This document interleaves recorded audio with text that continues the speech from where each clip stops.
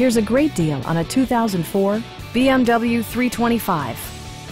BMW made sure to keep road handling and sportiness at the top of its priority list. BMW prioritized practicality, efficiency, and style by including delay off headlights, front and rear reading lights, adjustable headrests in all seating positions, a leather steering wheel, a trip computer, an outside temperature display, and a split folding rear seat.